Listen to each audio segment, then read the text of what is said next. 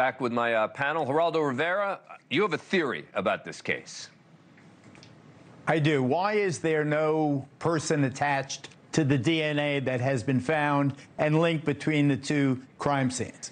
I submit that it is likely, at least to me, uh, that this is an undocumented immigrant, an illegal alien who is not anywhere in the U.S. data bank. Uh, he's there's no name attached to him. He's never been arrested in the United States. It's clear, otherwise he would have popped right up. Uh, it, it, it, he is, I submit, likely an undocumented person whose identity is unknown because he's one of millions now in the country without authorization and without any kind of uh, uh, paper trail, so to well, speak. That is Jesse if he's still in the country, right? I mean, that's yeah. going to be a big thing. Now, the, the sheriff also released what they viewed as another key detail mm -hmm. that they believe that the killer was in Maryland for a few days before the murder, suggesting that they have evidence that he was spotted, et cetera. Does that change anything? Look, I think this is a great development. I, am cautiously optimistic because this sketch would have been great six months ago. His, you look at the photo, maybe someone will be like, oh, I remember that guy, but he's not, doesn't have those kind of distinguishing characteristics. He may look entirely different now than he did. And, and, and as much as they talk about the red hat, does he still have it? I mean, do, do, do, right. is he wearing it at other places? It's a great thing.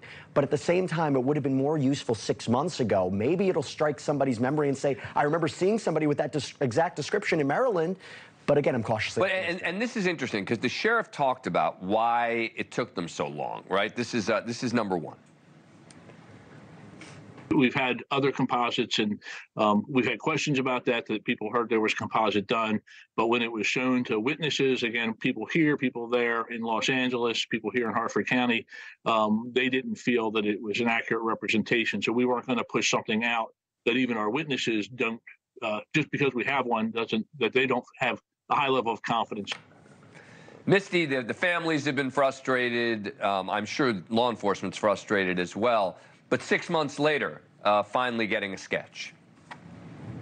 Yeah, finally getting the sketch. And I mean, they don't want to get this wrong. It sounds like they waited until they had what they could create the most accurate sketch. It's difficult, Dan, when you have these crimes in different jurisdictions to bring that together. But now there's the sketch. There's also a reward attached. So to the extent that somebody's seen this individual, they could be incentivized to come forward. And don't forget electronic footprint.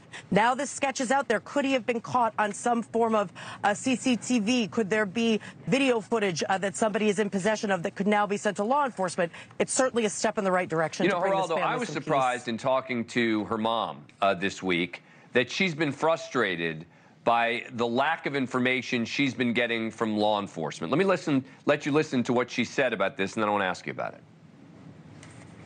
We have been in contact, but they've kept a lot of details to themselves. And I, it's been very frustrating not having details and being kept up to speed on things. But I think it's because um, they wanted to protect the integrity of the case because they weren't sure. Information has been very slow and very small. Geraldo, it's a balance, right? For law enforcement, you want to, of course, keep the victims' families as informed as you possibly can. You don't want to jeopardize the investigation. Absolutely, and you want to start as close to the victim as possible. Uh, you and and then in like concentric circles, like a, a pebble in a pond, you broaden and broaden and broaden. And in this case, they I think did an excellent job in ultimately linking the East Coast case with the West Coast case. But if my thesis is correct, and, and, and uh, as you surmise, the guy could be long, long gone by now, and uh, a face, a face in the crowd. Very, very difficult, unless he commits another crime. If you catch him, it could be, I don't know, reckless driving. You take his prints or you uh, do a breathalyzer, you do anything that gets his DNA, you put it in the database. It is amazing what science has done in terms of law enforcement, law and order, uh, crime and punishment. Uh, he, he does anything from this point on that sheds any DNA, then they've got him. They've got him for the rape, they've got him for the murder, they've got him for everything. You know, Jesse, pretty bold though. That he committed these crimes on both coasts, right? So he's Yeah. doing a lot of traveling. He has to have some resources. You would wonder if he has some sort of help or is he an independent actor? You know, taking Geraldo's theory, which I think could be very accurate, you wonder his connections here. I do have to say one thing. I- have to give credit to the network for keeping this story in the news because we did not hear anything about it. Now, I was comforted to hear the law enforcement saying behind the scenes they were getting tips, they were interviewing witnesses.